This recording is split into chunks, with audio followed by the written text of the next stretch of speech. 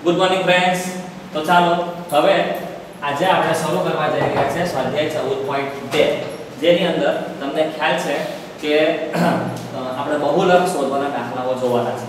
અને તમને મેં ગયા વિડીયોમાં કીધું હતું કે બહુલક શોધવાનું કામ એટલે આખા ચેપ્ટરમાં આમ તો બધા દાખલા સહેલા જ છે, ઓકે? પણ સૌથી સહેલું કામ, સહેલામાં પણ સહેલું કામ હોય તો બહુલક શોધવાનું. એનું એક કારણ તમને ખ્યાલ તો હશે જ કે નવમા ધોરણની અંદર બહુલક કેવી રીતે શોધતા? બરાબર. બહુલકની વ્યાખ્યા શું છે? જો અવર્ગીકૃત માહિતી માટે આપેલા, આપેલી માહિતીની અંદર સૌથી વધુ વાર આવતા પ્રાપ્તાંક અથવા તો અવલોકનને આપણે બહુલક કહીએ છીએ. ધારો કે મને કોઈ એક અવર્ગીકૃત માહિતી આપેલી છે, જેમ કે ઉદાહરણ ચાર. ચોપડી જુઓ. ચોપડી ખોલો. એમાં તમને ઉદાહરણ ચાર જુઓ. બરાબર છે? રકમ હું પણ વાંચું છું, તમે પણ અંદર બુકમાં ધ્યાન આપો. એવું કહ્યું છે કે ભાઈ, એક બોલર દ્વારા દસ ક્રિકેટ મેચમાં નીચે પ્રમાણે વિકેટો લેવામાં આવેલી છે અને વિકેટો મેં અહીં લખેલી છે. એ બોલર છે ક્રિકેટમાં બોલિંગ કરી રહ્યો છે. એ પહેલી મેચ રમ્યો તો એણે કંઈક બે વિકેટ લીધી, બીજી વિકેટ સોરી બીજી મેચ રમ્યો, એમાં છ વિકેટ લીધી. પછીની મેચમાં ચાર વિકેટો લીધી પછીની મેચમાં પાંચ વિકેટો લીધી. એમ એની દસ મેચનો એક હિસાબ આપેલો છે. સવાલ એમ છે કે આનું મધ્ય સોરી આનો બહુ લખશો તમે તરત મને જવાબ આપશો તો ઉમાનું યાદ હોય. કારણ કે આમાં કશું થવાનું નથી. શું વ્યાખ્યા બોલ્યો કે ભાઈ અવર્ગીકૃત માહિતી છે? આમાં છે? વર્ગ ફાળેલા છે? આવા વર્ગ કઈ બનાવેલા છે? જે આમાં વર્ગ છે, એમાં આમાં વર્ગ છે? નથી. એટલે આ માહિતીને અવર્ગીકૃત માહિતી કહેવાય. તો વ્યાખ્યા શું કહે છે કે અવર્ગીકૃત માહિતી માટે સૌથી વધુ વખત પુનરાવર્તન પામતો પ્રાપ્તાંક તો તમે જરા ચેક કરો કે આમાં કોણ સૌથી વધુ વખત પુનરાવર્તન પામે છે. ચેક કરો. તો તમે મને કહેશો કે બે સૌથી વધારે વખત આવે છે. જો, આ માહિતીમાં બે છે ને, એક વાર, બીજી વાર, ત્રીજી વાર. બે છે ને ત્રણ વખત આવે છે. તો આ માહિતીનો બહુલ બે કહેવાય. આ બે માહિતીને એક બહુલકીય માહિતી કહેવાય કારણ કે આને એક જ બહુલક છે. તો બોલો, ઉદાહરણ ચાર મેં ગણાવી લીધું. હવે હું એને રેવા નથી દેવાનું, હું પૂછી નાખીશ. તમારે જાતે જાતે આંસુ કરી નાખવાનું? ઉદાહરણ ચાર હોમવર્કમાં છે. યાદ રાખજો ભાઈ, ઉદાહરણ ચાર હોમ આગળ વધીએ, ચાલો. હવે એક બીજું ઉદાહરણ લઈએ, જેમ કે હવે આ માહિતી વાંચું છું. તમને એક માહિતી આપી કે ભાઈ ચાલીસ તેતાલીસ ચાલીસ, સુડતાલીસ, તેતાલીસ, પિસ્તાલીસ. હવે મારો સવાલ છે કે આનું સોરી આનો બહુલક શોધો. તો તો વ્યાખ્યા પ્રમાણે, વ્યાખ્યા શું કહે છે કે સૌથી વધારે વખત પુનરાવર્તન પામતો પ્રાપ્ત બોલો, હવે આમાં બહુલક તમે શું કહેશો? આમાં જોશો તો તમે કહેશો કે ચાલીસ બે વખત આવે છે અને તેતાળીસ પણ બે વખત આવે છે. તો આનો બહુલક વિદ્યાર્થી મિત્રો આનો બહુલક 40 પણ કહેવાય અને 43 પણ કહેવાય. તો શું લખશો જવાબમાં? કે ભાઈ, અહીં પ્રાપ્તાંક 40 અને 43 બંને સરખી વખત આવે છે, બંને બે વખત આવે છે. તો મતલબ કે આ માહિતીને બે બહુલક છે જો 40 અને 43 તો યાદ રાખજો, નવમાં આપણે શીખી ગયા છે કે આવી માહિતીને આપણે દ્વિબહુલકીય માહિતી કહીએ છીએ. આવી માહિતીને કેવી કહેવાય? દ્વિબહુલકીય. બે બહુલક છે. કોઈ માહિતી એવી પણ હોય કે જેને બે કરતા વધારે બહુલક હોય, કોઈને ત્રણ હોય, કોઈને ચાર હોય, તો પછી સાંભળજો. એક બહુલક હોય તો એક બહુલકીય માહિતી, કોઈને બે બહુલક હોય તો દ્વિબહુલકીય માહિતી, ત્યાર પછી બહુલક બે કરતા વધી જાય ને, તો પછી આપણે એને કહીએ છીએ બહુ બહુલકીય માહિતી. એવું નહીં કે ભાઈ ત્રિબહુલકીય માહિતી ચતુર બહુ એવું એવા શબ્દ છે બે કરતા બહુલક વધે એટલે નામ આપવાનું આ માહિતી બહુ બહુલકીય છે. ઓકે? આગળ વધીએ, ચાલો. ક્યારેક એવી માહિતી પણ આવે છે, સમજો. એક માહિતી તમારે સમક્ષ હું રજૂ કરું છું. અગિયાર, બાર, તેર, ચૌદ, પંદર. હવે હું પૂછું છું કે આમનો બહુલક આમાં એક પણ પ્રાપ્તાંક એવો નથી કે જે સૌથી વધારે વખત આવતા હોય. બધા એક સરખી વખત જ આવે છે. તો બધાને બહુલક કહેવાય નહીં. એક કરતા વધારે વખત આવવું જોઈએ તો યાદ રાખજો, આ માહિતીને બહુલક નથી. આ માહિતીને બહુલક નથી. તમે એવું ના લખતા ભાઈ કે ભાઈ આ માહિતીનો બહુલક શૂન્ય. એવું શૂન્ય પણ ના લખાય. તમે માહિતીનો બહુલક શૂન્ય એવું લખો એનો મતલબ એમ થાય કે આ માહિતીમાં શૂન્ય ઘણી વખત આવે છે. ના ભાઈ, આ માહિતીમાં શૂન્ય એક પણ વાત નથી. શૂન્ય કાથી બહુલક બનવાનો?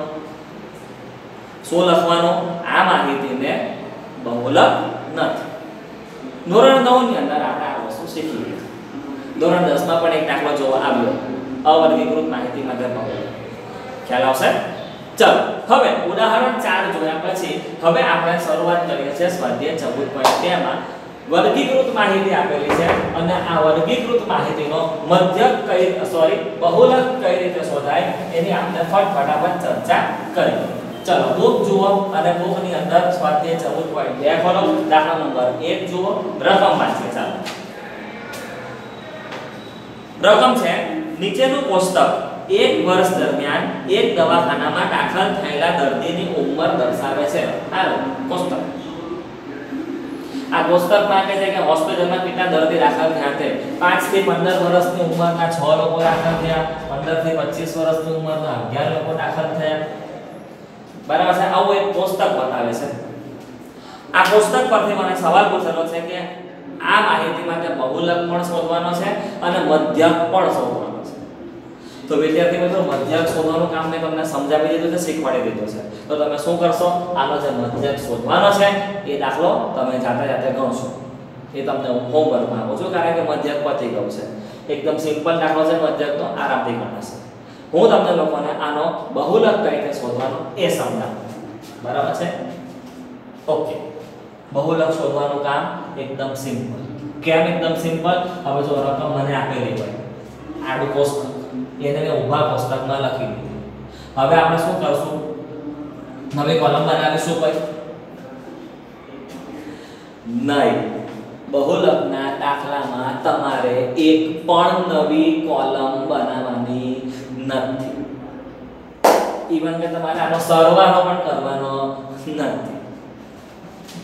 આ કોષ્ટક. અને આ કોષ્ટકને જોવાથી બધી કિંમતો મને મળી જશે. કોષ્ટકને જોવાથી જ. સાંભળજો, કેવી રીતે? ચલો, રકમ આવે ને, દાખલો શરૂ કરીએ, હે? રકમ આવે ને, બહુલક શોધવાનો છે ને, તો બહુલક એટલે આપણા દિમાગમાં શું હોય કે કયો પ્રાપ્તાંક, કયું અવલોકન સૌથી વધારે વખત આવે છે? તો આ બધી આવૃત્તિઓ મને આપેલી છે ને, તો મેં ચેક કરો કે કઈ આવૃત્તિ સૌથી મોટી છે. ચેક કરો. બહુલકમાં આપણે આ જોવાનું કે કોણ સૌથી મોટું? આમાં સૌથી મોટું તમે નજર દોડાવશો તો તમે મને કહેશો કે 23 છે. સૌથી મોટી આવૃત્તિ 23 તો ભાઈ, જે સૌથી મોટી આવૃત્તિ દેખાય ને ભાઈ, તો તમે એક કામ કરો ને આ મારે છે હાઈલાઈટ કરી લો મધ્યસ્થ દાખલો હોય તો મને મધ્યસ્થ વર્ગ મળે. આ બહુલક શોધવાનો દાખલો છે, એટલે આમાં મને બહુલક વર્ગ મળશે. બહુલકને આપણે સંકેતિક ભાષામાં z વડે દર્શાવીશું. બહુલકને કોના વડે દર્શાવાય છે ભાઈ? z વડે. તો આપણે બહુલક વર્ગ એવું આખું નહીં લખીશું. જે રીતે મધ્યસ્થ વર્ગ આવતો તો આપણે શું લખતા? m વર્ગ. તો બહુલક વર્ગ માટે આપણે લખીશું z વર્ગ તો બોલો, સૌથી મોટું અવલોકન 23 મને મળી ગયું. તો આની પરથી શું મને બહુલકીય વર્ગ ના મળે? તો લખો ફટાફટ. કે ભાઈ અહીં z વર્ગ એટલે કે બહુલક વર્ગ કયો? 35 થી 45 જો આ 35 થી 45 હોય તો એની અધઃસીમા l કેટલી કહેવાય? 35 મધ્યસ્થમાં કર્યું છે આપણે, આ વર્ગ હોય, તો એમાં l કેટલો? 35 હવે સાંભળજો. આમાં હજુ શું શું શોધવાનું છે તે તમને. આ થયો મારો બહુલકીય વર્ગ, જેમાં l 35 આ થશે મારે બહુલકીય આવૃત્તિ. હવે છે ને, આપણે બહુલકીય આવૃત્તિને f1 વડે દર્શાવીશું. આ જે આવૃત્તિ છે ને, એ સૌથી પહેલા જે મને આવૃત્તિ મળે ને, એને તમારે f1 કહેવાય સૌથી પહેલી મને આ આવૃત્તિ મળે, સૌથી મોટી આવૃત્તિ. હવે સાંભળો આ જે આવૃત્તિ હોય ને, તો એની ઉપર પણ એક આવૃત્તિ છે, ચેક કરો. તો આની ઉપરની આવૃત્તિને વિદ્યાર્થી મિત્રો આપણે નામ આપીશું f0 f0 નથી, આ f0 નહીં વાંચતા. F0 એકની ઉપર 0 અને સાંભળજો, એક આની નીચેના વર્ગની પણ આવૃત્તિ આપણે લેવી પડશે. એનું નામ 14 છે એટલે આ 14 છે, એટલે આને આપણે નામ આપીશું f2 આટલું આવડી ગયું એટલે કામ પૂરું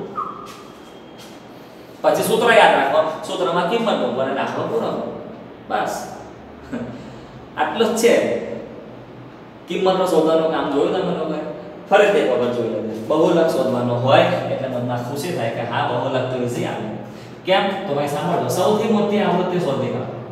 23 એટલે મને વર્ગ મળી ગયા એમાં એલ 35 આ આવૃત્તિ સૌથી પહેલી મને મળે એટલે એને F1 નામ આપો. F1 એની ઉપરની આવૃત્તિ F0 અને નીચેની આવૃત્તિ F2 સૌથી મોટી હોય એટલે વન નંબર નંબર F1 સૌથી પહેલી મળે એટલે F1 એની ઉપરના વર્ગની F0 એની નીચેના વર્ગની F2 ઓકે હજુ એક વસ્તુ રહી ગયો h. હવે h તો વર્ગ લંબાઈ યાર. વર્ગ લંબાઈ કેટલી છે ભાઈ? જોઈ લો. 10 10 ના ગેપમાં કામ ચાલે છે તો 10 પતી. લખવાનું કેવી રીતે તે જોઈ લો.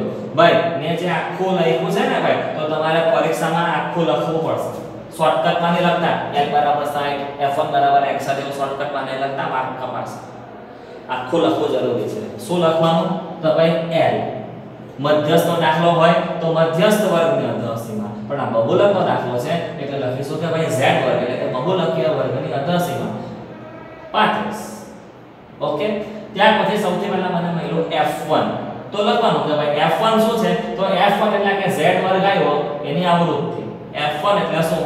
z વર્ગની આવૃત્તિ. કેટલી? 30 ત્યાર પછી મને f0 મળે. F0 એટલે શું? તો ભાઈ f0 એટલે z વર્ગની ઉપરના વર્ગની z વર્ગની ઉપરના વર્ગની આવૃત્તિ 21 અને એની નીચેના વર્ગની આવૃત્તિ, એટલે કે f2 f2 એટલે કે z વર્ગની નીચેના વર્ગની આવૃત્તિ એટલે કે 14 બોલો લખતા આવડે? સિમ્પલ જ છે ને ભાઈ. z વર્ગની આવૃત્તિ f1 23 z વર્ગની ઉપરના વર્ગની આવૃત્તિ f0 21 z વર્ગની નીચેના વર્ગની આવૃત્તિ f2 14 h એટલે કે વર્ગ લંબાઈ 10 હવે, બહુલકનું સૂત્ર જોઈ દિમાગમાં દિમાગમાં ફટફટાવટ નોટે કરી લો. બહુલકનું સૂત્ર z l વત્તા ઉપર અંશમાં કૌંસમાં f1 f0 fo નથી f0 છેદમાં 2f1 મતલબ કે જે f1 અહીંયા લખ્યા હોય ને, તો f1 ના ડબલ કરી દેવાના. બે વડે ગુણો ડબલ થાય. 2f1 minus f0 minus f1 ગુણ્યા h ફરીથી બહુલકનું સૂત્ર z વત્તા f1 minus f0 છેદમાં 2f1 minus f0 minus f2 ગુણ્યા h ઓકે આ સૂત્ર લખાઈ ગયું છે. હવે સૂત્રમાં કિંમત મૂકો. શું કિંમત મૂકીએ? સૌથી પહેલા તો l ની કિંમત મૂકીએ. l એટલે કે l એટલે કે આ થયા l એટલે કે 35 ઓકે વત્તા f1 ભાઈ f1 ની કિંમત એટલે કે 23 માઇનસ f0 f0 ની કિંમત એટલે કે 21 છેદમાં 2f1 ભાઈ ડબલ કરવાના ડબલ f1 ના ડબલ કરો 46 તમે એવી રીતે પણ લખી શકો કે ભાઈ 2 ગુણ્યા 23 એના કરતા ડાયરેક્ટ લખી દો ચાલે ડબલ તો મોટા થઈ શકે ને બે ગણા. ચલો ભાઈ, તો શું લખી દઉં? 46 માઇનસ f0 f0 એટલે કે 21 માઇનસ f2 f2 એટલે કે 14 ઓકે? સાથે ગુણાકારમાં h. h એટલે કે 10 આ થઈ આપણે કિંમતો મૂકી દીધી. કિંમત મળી ગઈ. મૂકી દો. ઝડપ બે ગણતરી કરીએ ચાલો. ગણતરીમાં સૌથી પહેલા આપણે લખી કે 35 આ 35 ને ભાઈ એમને એમ રહેવા જ દેવાના. 23 માંથી 21 બાદ કરો એટલે કે 2 2 ગુણ્યા 10 છેદમાં 46 માંથી 21 જાય. એટલે કેટલા બચે? 25 25 માંથી હજુ 14 જાય. એટલે કેટલા બચશે? 14 આમ પણ કરી શકાય જો 6 માંથી 1 જાય 5 5 માંથી 4 જાય 1 સોરી આપણે આ દાખલામાં ભૂલ કરી. અને 11 આવશે. જો ફરીથી. 6 માંથી 1 જાય એટલે 5 5 માંથી 4 જાય એટલે 1 ઓકે? ત્યાર પછી 4 માંથી 2 જાય એટલે 2 2 માંથી 1 જાય તો 1 11 આમ પણ કરી શકાય. જુઓ. આ જે બે માઇનસ માઇનસ છે ને, એનો પ્લસ કરી લો કે ભાઈ 21 ને 14 35 બરાબર? હવે શું કરો? 46 માંથી 35 એક સામટા ભાગ કરે, તો તો પણ ચાલે. 46 માંથી 35 જાય 11 બીજો ઓપ્શન 46 માંથી 21 જાય 25 25 માંથી 14 જાય 11 જેમ કરવું હોય તેમ, જવાબ 11 હોવો જોઈએ. ચલો, હવે નેક્સ્ટ સ્ટેપમાં તમે સમજી શકતા હશો કે ગુણાકાર કરીશું. કે ભાઈ 35 10 દુ 20 છેદમાં 11 જો દાખલો મધ્યક ન હોય મધ્યસ્થ ન હોય કે બહુલક ન હોય, એક તમારે ભાગાકારનો દાખલો કરવાનો આવશે જ. એ બધું નથી ઉડી જવાનું. દર વખતે કોઈ દાખલો એવો પણ હોય કે કદાચ ઉપર નીચે બધું ઉડી જાય, પણ આમાં નથી ઉડતું. એટલે હવે આપણે ભાગાકાર કરીએ. શું કરીએ? વીસ છે એને આપણે 11 વડે ભાગીએ. અગિયાર એટલે અગિયાર ભાગ ચાલે. નવ શેષ વચ્ચે. પોઈન્ટ મૂકીને શૂન્ય લઈએ. 11 પાથા 88 બચે 90 માંથી 88 બાદ કરો એટલે બે બચે, શૂન્ય મૂકો, અગિયાર એટલા અગિયાર. બહુ થઈ ગયો દાખલો ઓકે રાઉન્ડ ફિગર લાવવું છે. એના માટે આપણે એક સ્ટેપ હજુ આગળ વધે ચાલો. 20 માંથી 88 જાય 9 બચે, શૂન્ય મૂકી દો. હવે ભાગ ચાલશે 11 અઠા 88 તો જુઓ 1.81 પણ 81 પછીનો આંકડો આઠ હશે. પાંચ કરતા વધી ગયા ને તો આપણે એક કામ કરીએ, આ 8 ને નહીં લખીશું, અને જ્યાં 81 છે, એની જગ્યા ઉપર લખી દઈએ 82 એટલે જવાબ લખું 1.82 હવે બહુલક મને મળી જવાનું, વિદ્યાર્થી મિત્રો. બહુલક z બરાબર 35 ને 36.82 અને વર્ષ છે, ઉંમર વર્ષમાં છે, એટલે આપણે લખીશું આટલા વર્ષ. તો આ સાથે આ દાખલો કમ્પ્લીટ બોલો ખ્યાલ આવશે એકવાર ફરીથી કોષ્ટક જોઈ લઈએ સૂત્ર તમારે યાદ રાખવાનું છે. સૂત્રમાં કિંમત મૂકીને જે આગળના દાખલામાં ગણતરી કરતા હતા તેવું જ કરવાનું છે. મેઇન શું છે? સૂત્રમાં જે કિંમતો શોધવાની. તો ભાઈ, આ ટાઈમ પર તો ભાઈ એવું કોષ્ટક આવી ગયું કે જેમાં એક પણ નવી કોલમ બનાવવાની શું કરો? સૌથી મોટો પ્રાપ્તાંક શોધી કાઢો. સૌથી મોટી આવૃત્તિ શોધી કાઢો. સૌથી મોટી આવૃત્તિ 23 બ્લોક કરવાય બ્લોક કરી દીધું. ભાઈ, મને L મળી ગયો 35 આ વર્ગની આવૃત્તિ એટલે F1 23 ઉપરના વર્ગની એટલે F0 આવૃત્તિ ને નીચેના વર્ગની એટલે F2 આ જે મળી ગયો તેને આપણે લખી દેવાનું. કિંમત મૂકે બરાબર. દાખલો નંબર 2 જોઈએ ચાલો જો સેમ મેથડ પર બનેલો દાખલો નંબર 2 આ મને કોષ્ટક આપી દીધેલો છે. અને દાખલા નંબર 2 માં મને કહ્યું કે ભાઈ બહુલક નક્કી કરવાનો છે. ખાલી બહુલક શોધવાનો છે. ચાલો ફટફટ બહુલક શોધી કાઢીએ બહુલક શોધવા માટે આ કોષ્ટક આપી દો. સૌથી પહેલા શું શોધવાનું? સૌથી મોટી આવૃત્તિ કઈ? ભાઈ, સૌથી મોટી આવૃત્તિ તમે જોશો તો આ 61 તો શું કરો? ભાઈ, આપણે એને હાઈલાઈટ કરી દઈએ. એને આપણે લોક કરી લઈએ ચલો લોક થઈ ગઈ. તો બોલો, મારો બહુલકીય વર્ગ કયો? 60 થી 80 એની અધસીમા કેટલી? 60 આની આવૃત્તિને શું નામ આપવાનું છે ભાઈ? f1 સૌથી પહેલી જે મળે, એક નંબર પર f1 એની ઉપરની આવૃત્તિ f0 જો ક્રમમાં રહેવું જોઈએ, છે ને? 0 1 2 અને આપણે આપ્યા 1 2 ચડતા ક્રમમાં હોવું જોઈએ? આ 0 1 2 આમ લાઈનમાં આવવું જોઈએ. અસ્તવ્યસ્ત થાય તો જરા તમે સમજી લેજો કે ભૂલ કરી. બરાબર? ને 0 1 2 સૌથી પહેલા મળે f1 એની ઉપર વાળી f0 નીચે વાળી f2 ઓકે? બધી કિંમતો મળી ગઈ એટલે લખી લઈએ લખવાની આ રીતે પૂરા વાક્યમાં. અત્યારે આપણે શોર્ટકટમાં લખી લઈએ છીએ કે ભાઈ આને સૌથી મોટી આવૃત્તિ x છે, માટે z વર્ગ છે, મને મળ્યો 60 થી 80 મતલબ કે એમાં અધસીમા n બરાબર 60 બહુલકીય વર્ગની આવૃત્તિ f1 એટલે કે 61 એની ઉપરના વર્ગની આવૃત્તિ f0 એટલે કે 52 એની નીચેના વર્ગની આવૃત્તિ એટલે કે f2 બરાબર 38 અને x જોઈએ તો ભાઈ 20 20 ના કેપમાં કામ ચાલે છે? એટલે x વર્ગ લંબાઈ 20 આટલું કામ પતે બહુલક સૂત્ર મારી દેવાનું. સૂત્ર છે z બરાબર l f1 f0 છેદમાં 2f1 f0 f2 ગુણ્યા h. ઓકે ચલો, એમાં l ની કિંમત 60 મળી. F1 ની કિંમત 61 માઇનસ f2 સોરી f0 ની કિંમત 52 છેદમાં ડબલ f1 f1 ની કિંમત કેટલી છે ભાઈ? 61 ડબલ કરવાના. 61 ના ડબલ કરીએ એટલે 122 માઇનસ f0 એટલે કે 52 F2 એટલે કે 38 ગુણ્યા H.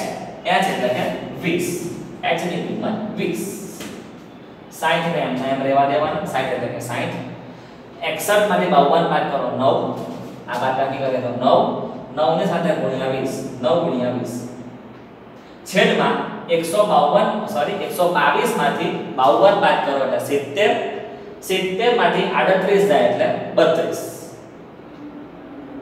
ઓકે? બીજો ઓપ્શન પાછળના બેનો સરવાળો કરી લો. 52 ને 38 90 થાય. 122 માંથી 90 બાદ કરો. 32 ઉડાવતા કશું નથી. આપણે કોઈ ઉડાવી શકાય. બે વરે ઉડે છે, જુઓ.